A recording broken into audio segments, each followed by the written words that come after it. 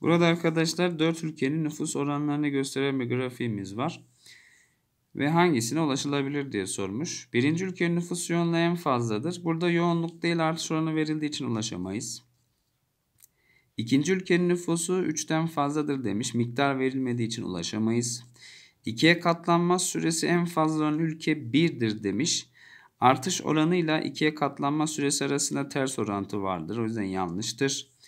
Dördüncü ülkenin nüfusu ülke geneline düzensiz dağılmıştır. Burada artış oranına baktığınızda artış oranı en fazla ülke 1'dir. Ve en düzensiz dağılım 1'dedir. Çünkü 1 geri kalmış bir ülkedir. Üçüncü ülkede ilerleyen yıllarda aktif nüfusa daha fazla ihtiyaç duyulabilir. Doğru. Çünkü arkadaşlar artış oranı en az olan ülkede aktif nüfus da daha azdır. O yüzden 3'ün daha fazla ihtiyacı var. Cevabımız E'dir.